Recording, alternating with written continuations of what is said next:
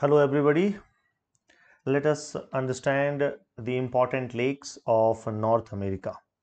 These lakes are very, very important for your exam, whether uh, you talk about uh, the uh, State Public Service Commission or the UPSC's Civil Services exam. So, everywhere you have or you will get question related to these lakes clear? So let us first start the important lakes of the canada.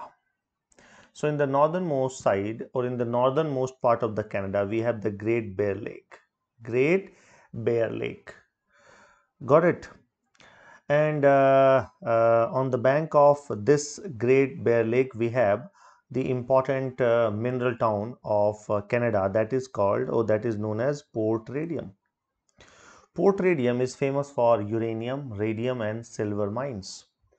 And through this uh, Great Bear Lake, Arctic Circle or 66 and half north crosses or passes through this lake. How this lake has been formed? So this lake has been formed because of the melting of the glacier. Clear now? So whether you talk about the Great Bear Lake, the Great Slave, the Athabasca Lake, the Reindeer Lake, the Manitoba Lake, the Winnipeg Lake, and these Great Lakes region of uh, the Canada and the USA, all have been formed because of the melting of the glacier. Remember this. Hmm? So after Great Bear Lake, we have Great Slave Lake. Great Slave, uh, located where in the Canada or in the northern part of the Canada, you can say, and on the coast of uh, on the coast of uh, uh Great Slave Lake, we have an important uh, mineral town of uh, Canada, and that is Yellowknife. Yellowknife, and it is famous for gold and diamond mines. Then comes the Lake Athabasca Lake Athabasca. And on the coast of Lake Athabasca, we have the uranium city, famous for uranium mines. Then uh, to the south, we have Reindeer Lake and then the Winnipeg Lake. So all these lakes are important lakes for your exam with respect to Canada. So the lakes in the north to south uh, location Great Bear, Great Slave, Athabasca, Reindeer and the Winnipeg Lake. All these lakes are located where? In the Canada. So now let us understand the Great Lakes region. Great Lakes what region?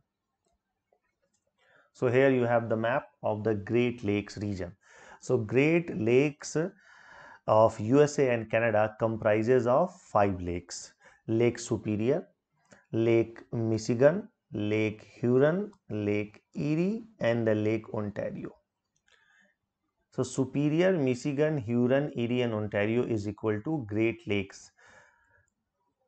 Listen very carefully. I am not saying Lakes region. I am saying what the Great Lakes region. And the Great Lakes region is in USA and in Canada. Hmm? And if uh, if I will talk about what the lakes region, it means the Finland. In Finland, we have lakes region, but in USA and Canada, we have Great Lakes region. Now, question arises how these lakes have been formed. So, these lakes have been formed because of the melting of the glacier. And among these five lakes, this lake Superior is the largest one.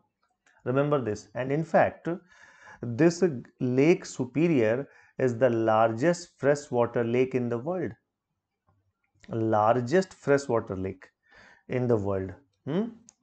Largest freshwater lake. Largest freshwater lake in the world. Remember which one? The Lake Superior. Hmm? Then the smallest among these five lakes is what? Lake Ontario. Largest one is the Superior and the smallest one is Ontario. You know dear, all these lakes are interconnected through through natural channels and sometimes maybe through artificial channels. For an example, the Erie and Ontario, Erie and Ontario are connected through a canal known as Welland Canal. Erie and Ontario connected through Welland Canal and the Superior and the Huron is connected through Soo Canal. And same thing you can say about the Huron and the Erie. Lake Huron and Erie are connected through various natural and the artificial channel. So all these lakes, my dear, are well connected.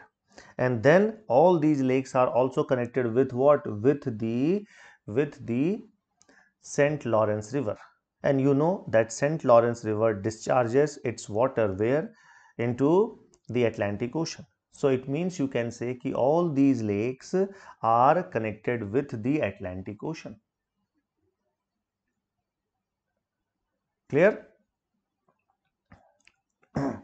then uh, on the uh, on the bank of or on the coast of these lakes we have important towns so let us uh, see the important towns that are located on the coast of uh, these lakes.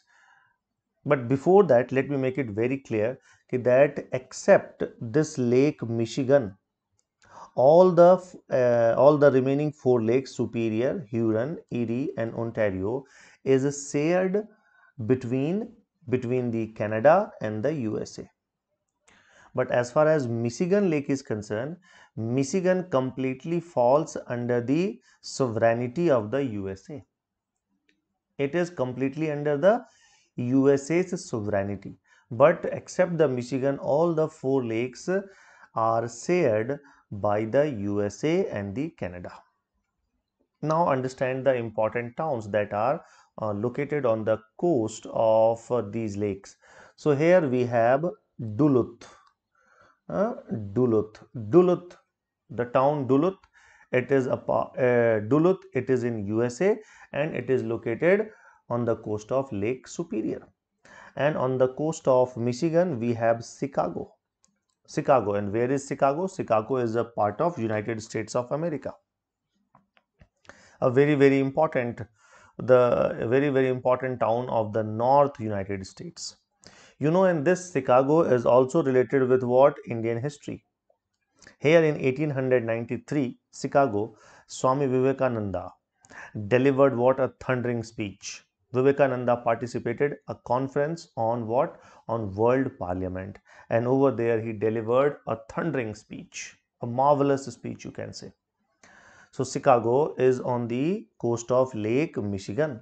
Then Detroit. Detroit is a is a town of USA and it is very very important or famous for automobile automobile industry Detroit and Detroit is on the bank of or on the coast of Lake Erie Lake Erie. Then the Toronto. Toronto is an important town, is an important town of Canada and it is on the coast of Lake Ontario.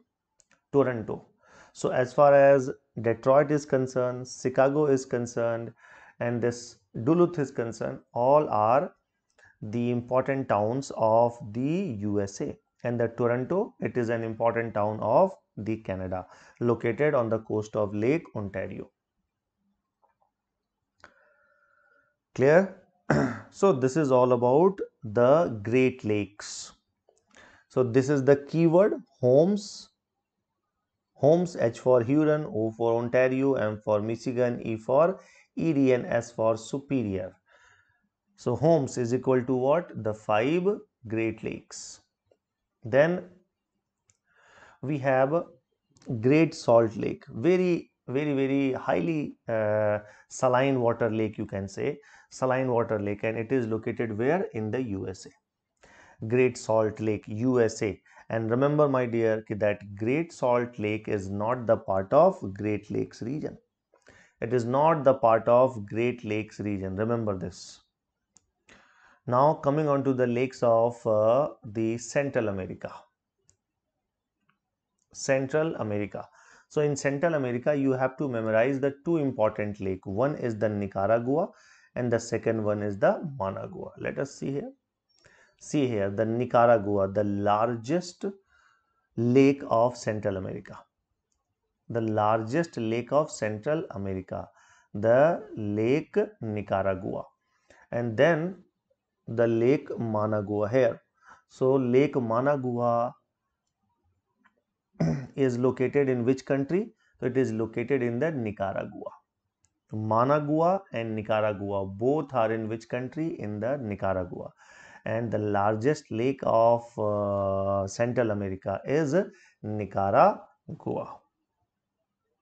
Nicaragua. So, this is all about the important lakes of North America. Thank you.